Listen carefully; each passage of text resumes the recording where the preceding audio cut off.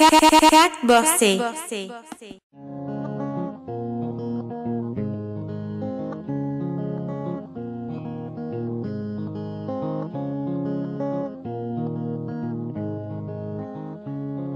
Bonsoir mesdames, bonsoir messieurs.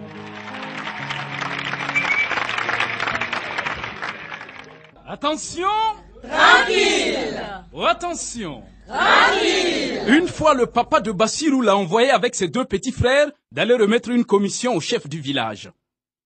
Avant de partir, le papa connaissant bien la perversité de son fils Bassirou l'appelle de côté et lui dit Aya, tu sais bien que tu pars chez le grand chef. Arrivé là-bas, je t'en prie, n'ouvre pas ta bouche. Pour l'amour du ciel. Sinon, tu risques de lâcher un mot qui va nous créer tous des ennuis. Bassirou dit, il n'y a pas de problème. Arrivé chez le chef, Bassirou n'ouvre pas sa bouche. Le chef salue, Bassirou n'ouvre pas sa bouche. Le chef demande après la famille, la santé, hey, Bassirou n'ouvre pas sa bouche. Au bout d'un moment, le chef s'arrête et demande, mais pourquoi votre grand frère est timide? Il ne se sent pas ou quoi? Bassirou dit, non chef, je n'ai jamais été timide. En fait, j'ai reçu des instructions et je préfère rester dans cet état. Sinon, si j'ouvre ma bouche ici, Hadja, vous allez rire jusqu'à votre derrière va se déchirer en quatre.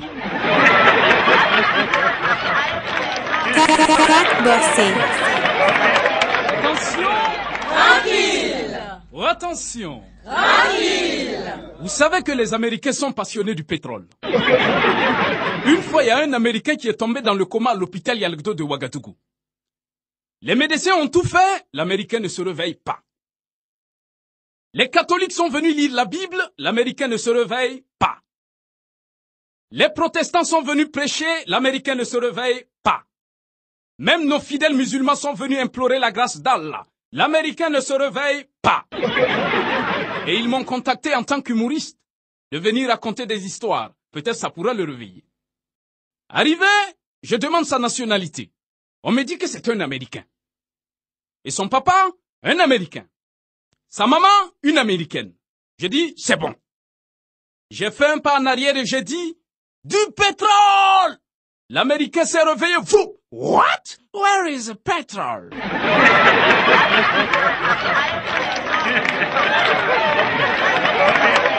Attention! Tranquille! Oh, attention! Tranquille! C'est une maîtresse qui n'avait rien à dire à ses élèves. Elle entre dans la classe et dit Je veux voir la plus bête de la classe debout. Personne ne bouge. J'ai dit que je veux voir la plus bête de la classe debout. Aucun élève ne bouge. Figurez-vous qu'elle a répété ça pendant 30 minutes. Au bout d'un moment, il y a un élève qui s'est mis debout. Elle dit Ah, enfin, c'est toi la plus bête de la classe. L'élève dit Non, madame, c'est pas ça. Comme vous êtes toute seule debout depuis 30 minutes là-haut, je me suis levé pour vous tenir compagnie.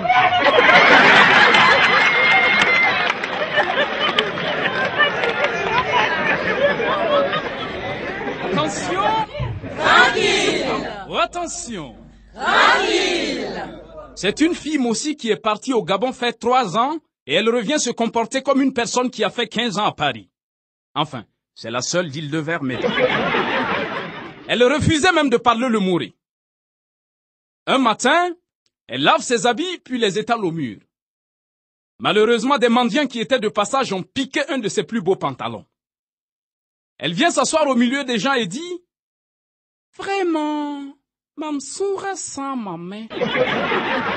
Personne ne répond mon pantalon là Personne ne répond. Joli pantalon là. Eh, qu'est-ce qui s'est passé? Oui, avec tes barres relevées comme ça là. Hmm. Attention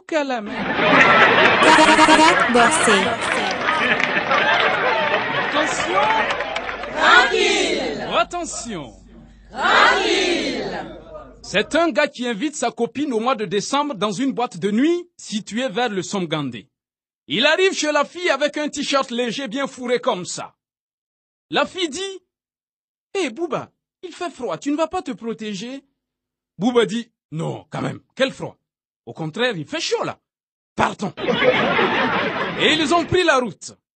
La fille derrière et Bouba devant. Au retour, la fille toujours derrière et Bouba devant. Vous savez que ce n'est pas la joie de passer sur le pont de Tanguin au mois de décembre avec un t-shirt léger vers 3 heures du matin. Arrivé vers l'hôtel Silmandé, Bouba a commencé à frissonner du dos jusqu'aux fesses. Et quand ils sont montés sur le pont, il ne fallait pas. Les dents de Bouba ont commencé à se cogner. Aya, la fille qui est derrière et ne sait pas d'où vient le bruit, tapote sur son dos. Bouba, Bouba, arrête-toi, on va mettre la chaîne de la moto là.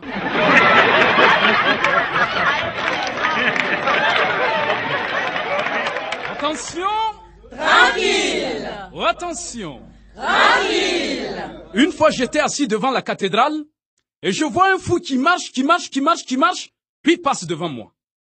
Après il marche, il marche, il marche, il marche, puis passe devant moi encore. À un moment donné, il commence à pleurer. Comme un gamin de trois ans. Je m'approche de lui et je lui demande, mais, qu'est-ce qui se passe? Il me dit, Hum, mon ami, dans tout ça là, c'est pas le fait d'être foulé qui me gêne.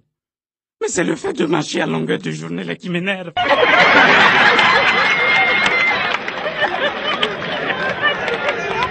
Attention Tranquille Attention